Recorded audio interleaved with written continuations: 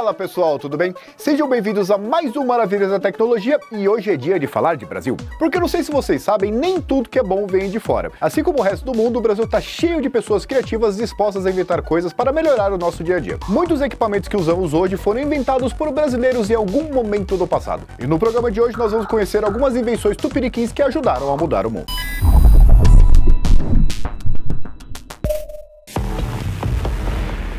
A tecnologia de transmissão de som por ondas de rádio foi desenvolvida no final do século XIX, mas apesar da criação do rádio ser atribuída a Nikola Tesla, ela foi criada por um padre. No caso, é o padre e inventor brasileiro Roberto Landel de Moura que em 1893 realizou a primeira transmissão radiofônica do mundo.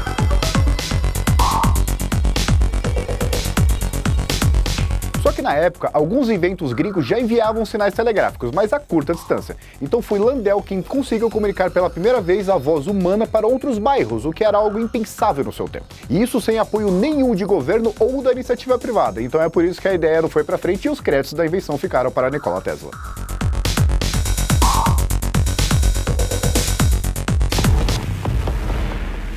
Em 1989, o juiz eleitoral Carlos Prudêncio, morador de Brusque, em Santa Catarina, idealizou o que seria o primeiro terminal de votação por computador. Sete anos depois, nas eleições municipais de 1996, os votos de mais de 32 milhões de brasileiros, mais ou menos um terço da população que votava na época, né, foram coletados por aproximadamente 70 milhões de urnas eletrônicas.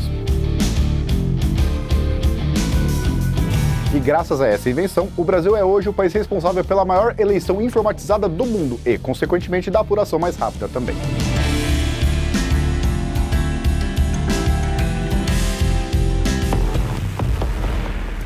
Pouca gente sabe, mas a radiografia também foi criada por um brasileiro. Em 1936, o médico Manuel de Abreu inventou um sistema que usava chapas radiográficas para fotografar a parte interna do corpo.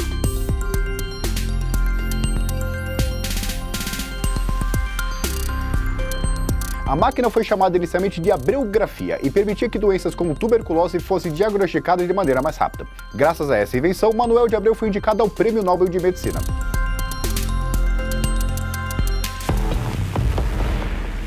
Nos anos 90, todo mundo queria um Walkman para sair por aí escutando a playlist favorita gravada numa fita cassete. Mas, ao contrário do que você deve imaginar, o aparelho não foi o primeiro reprodutor de áudio portátil, não. Antes dos populares dispositivos da Sony, que só apareceram em 1979, o alemão naturalizado brasileiro Andreas Pavel criou o Stereo Belt em 1972.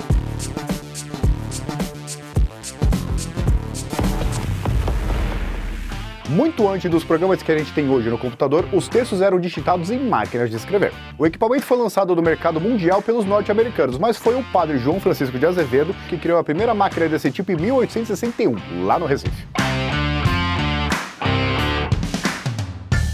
Batizada de máquina taquígrafa, ela contava com apenas 16 teclas para imprimir as letras em um papel.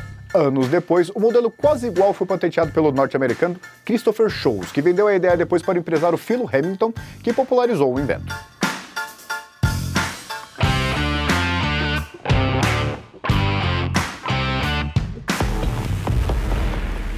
Os chuveiros, o conceito de chuveiro foi inventado lá em 1872, mas não tinha eletricidade naquela época, então era preciso dar um jeitinho de esquentar a água usando ou a luz do sol ou um fogão a lenha. Mas em 1927, o brasileiro Francisco Cavallos Navarro, que morava na cidade de Jaú, no interior de São Paulo, criou um chuveiro que funcionava apenas com energia elétrica. E ele inventou o primeiro chuveiro completamente automático do mundo, que ainda contava com aquelas chaves usadas para alterar a temperatura de água conforme a estação do ano. Infelizmente, ele não é reconhecido pela invenção porque quando ele decidiu patentear o equipamento só em 1943, outras empresas já tinham feito isso.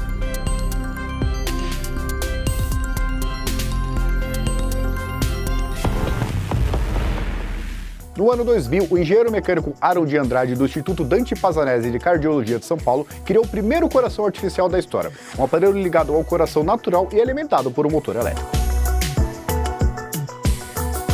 A invenção brasileira ajuda pacientes em estado grave que não conseguem se adaptar a medicações e permite que eles possam ter mais tempo de vida enquanto esperam um doador real.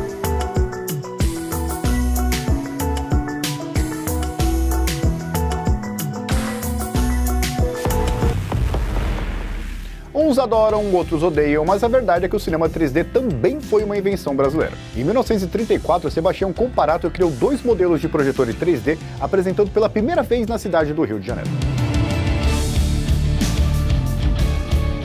O sistema criado por Sebastião consistia em um pequeno equipamento adaptado a projetores comuns de cinema. A imagem projetada era refletida em um espelho em um processo que criava uma sensação de que a imagem estava passando em um espaço vazio. Infelizmente, o inventor brasileiro também não foi reconhecido por sua criação.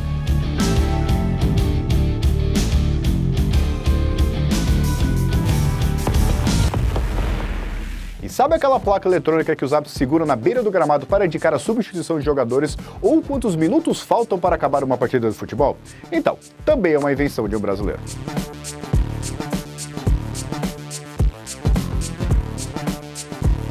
Carlos Eduardo Lamboglia patenteou sua invenção em 1997 no Ceará e já no ano seguinte a sua criação já fez parte de todos os jogos da Copa da França, facilitando a vida de quem estava em campo e também da torcida nas arquibancadas que não queria perder nenhum detalhe do jogo.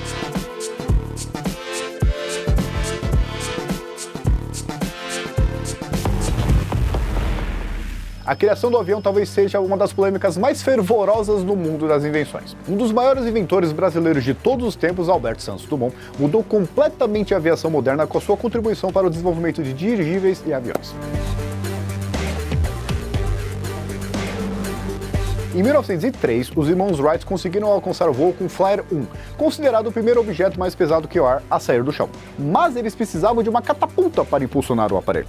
Dois anos depois, em 1905, o brasileiro Santos Dumont conseguiu fazer com que o 14 bis levantasse voo sem o auxílio externo, usando apenas o motor a combustão. Mas e aí, quem que inventou o avião? Eu sei que de um lado tem o estilingue ali dos irmãos Wright e do outro lado falo que o 14 bis não voava, ele dava pulinhos, né? Coloca aqui embaixo o que, que você acha.